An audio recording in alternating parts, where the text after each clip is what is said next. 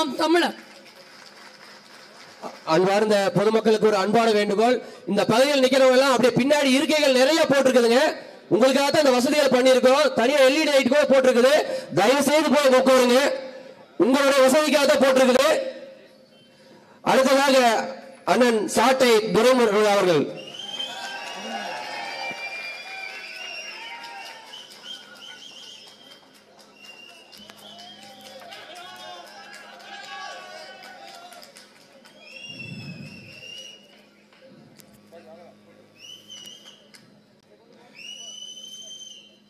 வேளாண்மை நமது பண்பாடு என்றது மாபெரும் பொதுக்கூட்டத்தில் அமர்ந்திருக்கிற அண்ணன் உள்ளிட்ட அனைவருக்கும் அன்பு வணக்கம்.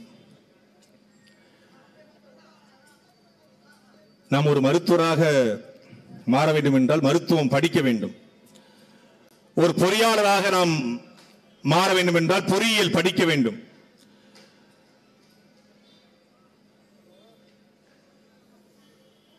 ஒவ்வொரு துறைக்கும் அந்த துறையில் நாம் வர வேண்டும் என்றால் வெல்ல வேண்டும் என்றால் அந்த துறை சார்ந்து நாம் படிக்க வேண்டும். ஒரு ஆடிட்டர் ஆகணும் அப்படின்னா ஒரு ஆடிட்டிங் படிக்க வேண்டும் சிஏ படிக்க வேண்டும். உலகத்திலேயே படிக்காமல் நம் மரபணுவுக்குள் ஒளிந்திருக்கிற ஒரே ஒரு தொழில் அது வேளாண்மை விவசாயம் மட்டும்தான். அதுவும் தமிழனின் ஒவ்வொரு மரபணுக்குள்ளேயும் இருப்பது விவசாயம். கடைசி விவசாயம் என்ற ஒரு படம் அந்த படத்தில் ஒரு பெரிய ஒரு அந்த பெரியவற்ற சிறையில ஒரு சிறைவாசி கேட்பாரு ஐயா விவசாயம்னா எனக்கு தெரியாதியா நான் போய் எப்படியா விவசாயம் பண்றது? அப்படின்னு கேட்பாரு அப்ப அந்த பெரியவர் சொல்வாரு சாப்பிடுறது தெரியும்ல. அப்படின்னு சொல்லிட்டு ஒரு டப்பாவை எடுத்துட்டு வான்னு கேட்பாரு கொஞ்சம் மண்ணள்ளி போடும்பாரு. மண்ணள்ளி போடுவாரு. ஒரு வேப்ப முத்து கிடக்கும். வேப்பம்பழம் காஞ்சி முத்து கிடக்கும். அந்த வேப்ப முத்து கொடுத்து கொடுத்தது உள்ள வையும்பாரு. நச்சுவார் அவரு. கொஞ்சம் கொஞ்சம் தண்ணி ஊத்தும்பாரு ஊத்துவாரு. அப்படியே தினமும் காலையில எஞ்சி தண்ணி ஊத்தி தண்ணி ஊத்தி விடும்பாரு.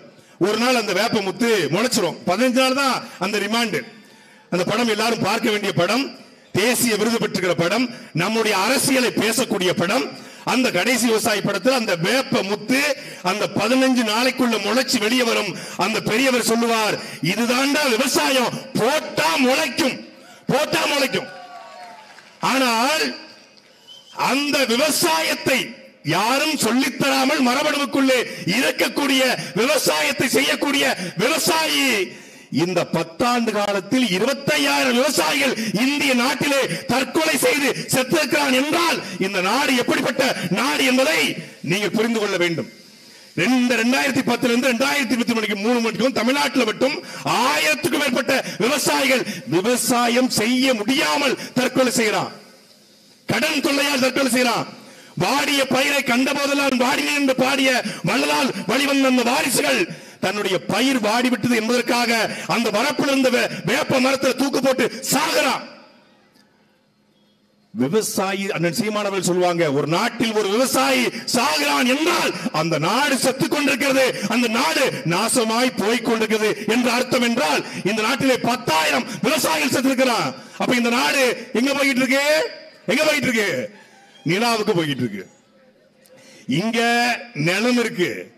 க- நெரும்பு நெல்லு விளையும் கரும்பு விளையும் வாழை விளையும் மஞ்சள் விளையும் தேங்காய் விளையும் மாங்காய் விளையும். இங்க கத்திரிக்காய் பாகக்காய் சுண்டக்காய் சுரக்காய் எல்லாம் விளையும். இங்க எல்லாம் விளையும்.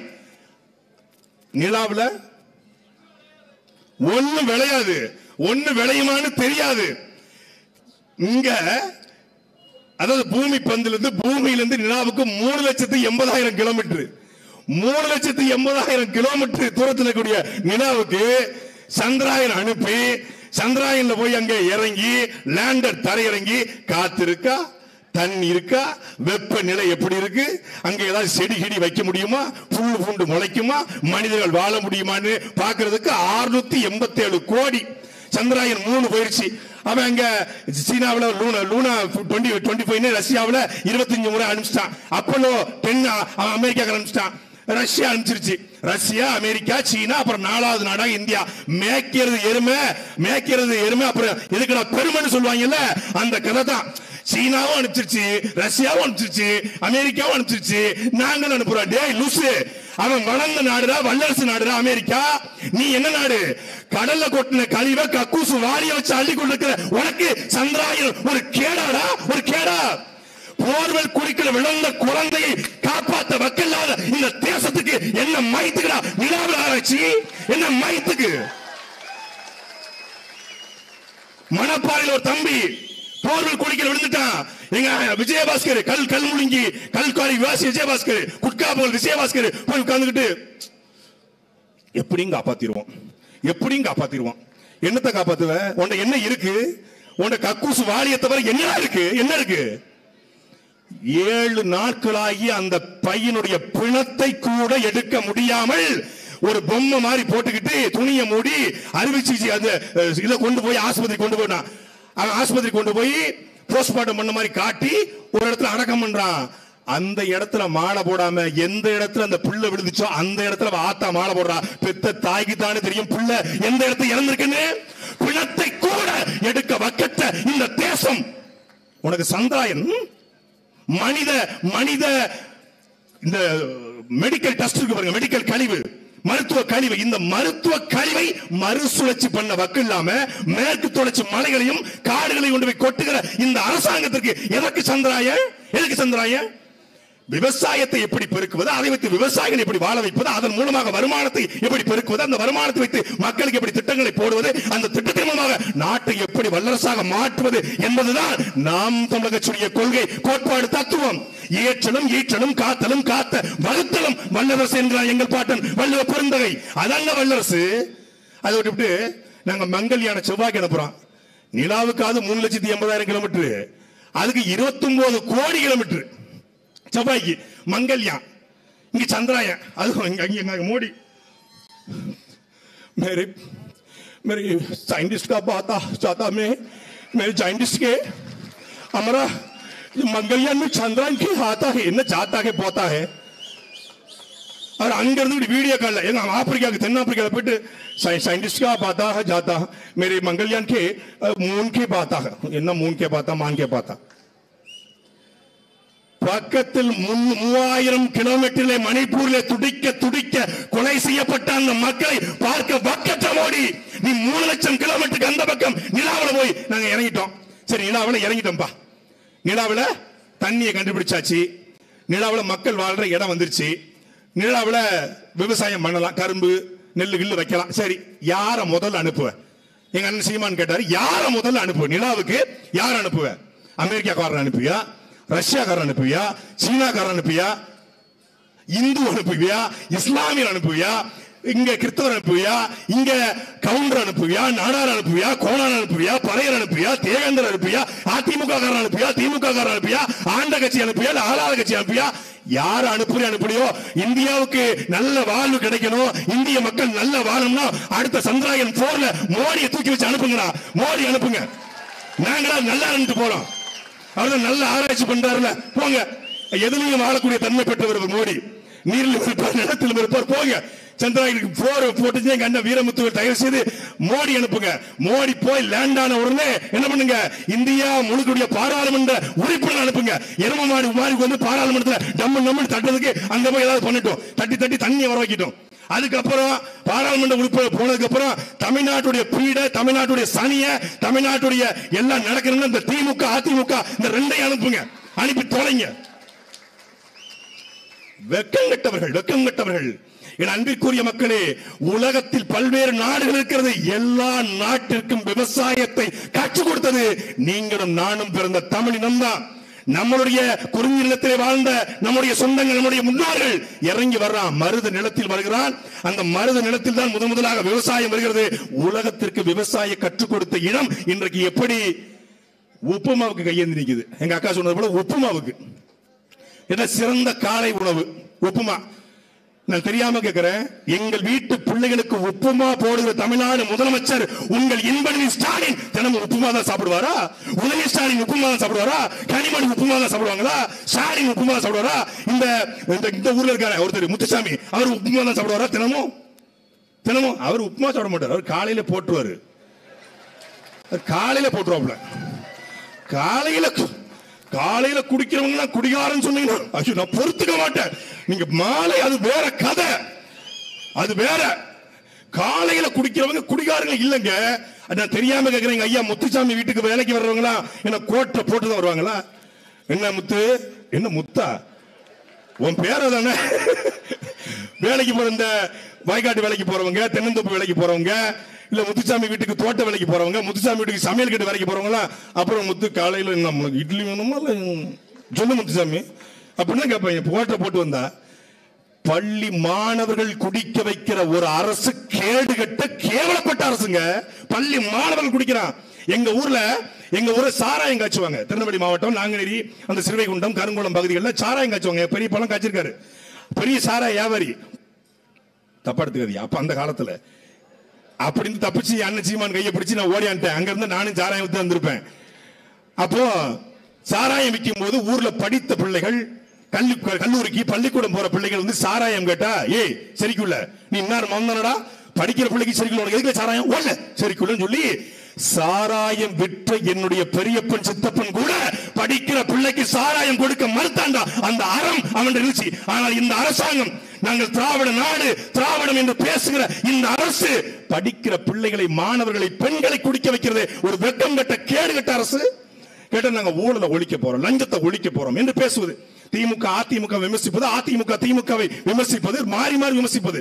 இந்த ஆட்சியில செந்தில் பாலாஜி வீட்டுல ரைடு பொன்முடி வீட்டுல ரைடு மாறி மாறி ரைடு நான் கேட்கறது அதே கேள்வி தான் கேட்கிறேன் பொன்முடி வீட்டிலும் செந்தில் பாலாஜி வீட்டிலும் ரைடு போய் அவர்களை கைது செய்த இந்த அமலாக்கத்துறை வருமான வரித்துறை எதற்காக இந்த ஈரோட்டில் நின்று செய்த தங்கமணி வீட்டை ரைடு போனிய ஏன் கைது பண்ணல?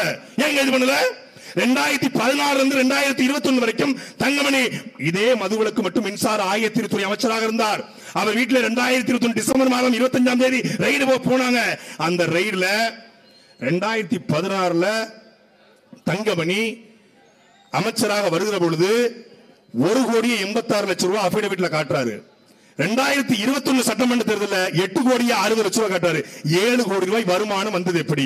முருகன் எர்த் மூவர்ஸ் அப்படிங்கிற ஒரு நிறுவனத்தை தொடங்கி இவர் இவருடைய மகன் தரணிதரன் இவர்கள் குடும்பம் எல்லோரும் சேர்ந்து கிட்டத்தட்ட அறுநூறு கோடிகளுக்கு மேலே மின்சார துறையில ஊழல் செய்திருக்கிறார் என்று தமிழ்நாடு லஞ்ச ஒழிப்புத்துறை வழக்கு பதிவு செய்திருக்கிறது. அது மட்டுமில்லாமல் உதய் மின் திட்டத்தை தமிழ்நாட்டில் கொண்டு வந்ததன் மூலமாக தமிழ்நாட்டுடைய மின்சார கட்டணம் உயர்வுக்கு காரணமாக இருந்தவர் இதே தங்கமணி தான். தமிழ்நாட்டில் இரண்டாயிரத்தி பதினாலு இருந்து இரண்டாயிரத்தி இருபத்தி ஒன்று வரைக்கும் அவர் மின்சாரத்துறை அமைச்சராக இருந்தபொழுது பதிமூணு பதிமூணாயிரம் கோடி ரூபாய் மின்சாரத்துறை மூலமாக ஊழல் செய்திருக்கிறார் என்று தணிக்கைத்துறை சொல்கிறது. இதற்கு என்ன பதில் வச்சிருக்கீங்க? ஏதோ ஊழலை ஒழிக்க போறேன்னு சொல்கிற அண்ணாமலை செந்தில் பாலாஜி பத்தி பேசுகிற அண்ணாமலை பொன்முடிய பத்தி பேசுகிற அண்ணாமலை சபரிசன் பத்தி பேசுகிற அண்ணாமலை அப்படியே உங்க திருவாயை திறந்து தங்கமணியை பேசுங்க உங்க வேலுமணியை பேசுங்க உங்க இவரை பேசுங்க. சரி இவர் நம்ம எடப்பாடி பழனிசாமியை பேசுங்க. பேசுங்களேன் ஏன் அதை பேச மாட்டீங்க? உங்க கூட்டணி கட்சி என்றா ஒரு நியாயம் கூட்டணி இல்லை என்ற நியாயமா? எல்லாரையும் சம திராசில் வைத்து எவன் ஊழல் செய்தாலும் அவன் சிவனாக இருந்தாலும் அந்த எவனாக இருந்தாலும் கேள்வி கேட்கிற ஒரே ஒரு கட்சி அது நாம் தமிழர். கட்சி மட்டும்தான். ஊழல் வழக்கில் போனா எவனையும் கை செய்ய போறது இல்ல செந்தில் பாலாஜி பத்து நாள் பெயில் வர போறானா பேசிட்டாங்க சோனியை முடிச்சிட்டாங்க. வந்துருவாரு. இந்த ஊழல் விளக்குல கைது போனவன் போனவன் இந்த பணத்தை கொள்ளையடிச்சவன் எல்லாருடைய லிஸ்ட் எங்க கிட்ட இருக்கு? எங்ககிட்டயும் வருமான வரித்துறையில அமலாக்கத்துறையில எங்களுக்கும் ஸ்லிப்பர் செல் எங்களுடைய சீமானுடைய தம்பி இருக்கான். ராணுவத்திலையும் ரா ஏஜென்ட்லயுமே எங்க ஆள் இருக்கும்போது ஐடி துறையில் இருக்க மாட்டானா? வருமான வரித்துறை இருக்க மாட்டானா? இன்னைக்கு சும்மா சீமான் சும்மா சொல்றாரு அவரு. ராணுவத்துல சும்மா சொல்றாரு. டேய் இந்தியாவிலேயே ஒரு கட்சியில மட்டும்தானா? முன்னாள் படை வீரர்கள் பாசறை என்ற ஒரு கட்சி இருக்கிறது. இந்நாள் படை வீரர் பாசறையும் கட்டுவான். நீ பயந்துருவ. நீ பயந்துருவ. ஐயோ. நீ பாரத போரு. ரெண்டாயிரத்தி இருபத்தி ஆறுல எங்க அண்ணன் சீமான் சொன்னது போல நெய்தல் படையை கட்டுவான். சிங்களவன் கடலுக்குள்ள வந்து அவன் மண்டையில பேன் சொரிஞ்சாலும் சுடுவான். சுடுவான்.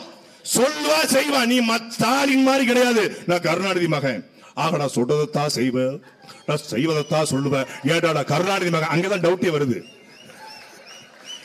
கருணாநிதி மகன்கள டவுட் வரல. பொய் சொல்றதுல டவுட் வந்துருது. நான் கருணாநிதி மகள் நான் சொல்றதை செய்வேன். செய்வது அப்படி சொல்ல அப்பவே தெரிஞ்சிச்சு ஆஹா செய்ய மாட்டாங்கடா. பிரார்த்தனை பண்றதுக்கு இப்பவே பேஸ்மெண்ட போட்டாங்கடா. அப்படின்னு தெரிஞ்சிருச்சு.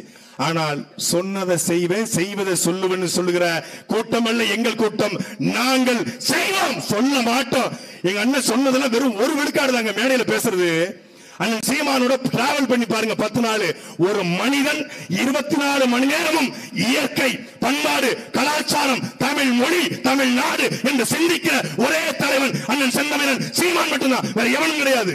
இந்த நேரத்தில் கோடி கனவுகளை கண்டு நிற்கிறோம். விவசாயம் அரசு வேலை ஆடு மாடு மேய்த்தல் அரசு வேலை என்று சொன்ன உடனே எல்லாரும் கிண்டல் பண்ணா சி ஆடு மாடு மேய்க்கிறது அரசு வேலையா? விவசாயம் அரசு விலையா டேய் போன வாரம் 200 ரூபா ஒரு தக்காளி. 200 ரூபா தக்காளி. வெள்ளை பூண்டு 350 ரூபா. வெங்காயம் 200 ரூபா. தக்காளி விலை குடிச்சிங்க. சீமான் ஆட்சிக்கு வருவாராங்க. டேய் தக்காளிக்கே ஒரு வாழ் வரும்போது தக்காளி எங்களுக்கு ஒரு வாழ் வராதா வரும் வரும். அன்பிற்குரிய இளைஞர்கள் இளைய பிள்ளைகள் இன்றைக்கு பன்னெண்டாம் வகுப்பு படித்துக் கொண்டிருக்கிற தம்பிமார்கள் நீங்கள் சிந்தியுங்கள். கல்லூரி படித்துக் கொண்ட தம்பிமார்கள் சிந்தியுங்கள்.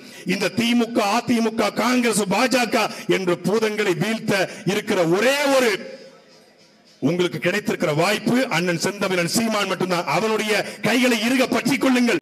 இந்த நிலத்திலே சாதியாக மதமாக கிடந்த பிள்ளைகளை தமிழராக மாற்றியிருக்கிற ஒரே ஒரு புரட்சியாளன் எங்களுடைய அண்ணன் செந்தமிழன் சீமான் மட்டும்தான். சீமான் ஒருத்தன் இல்லைன்னு வைங்க. சீமான்னு ஒருத்தர் இல்லைன்னு வைங்க. நம்மளாம் சாதி சண்டை போட்டுக்கிட்டு மத சண்டை போட்டுக்கிட்டு மொழியே என்னன்னு தெரியாம செத்து போயிருப்போங்க. அந்த ஒன்றுக்காவது அண்ணன் சீமானுடைய கரத்தை வலுப்படுத்துவோம். நன்றி வணக்கம். நாம் தமிழர்.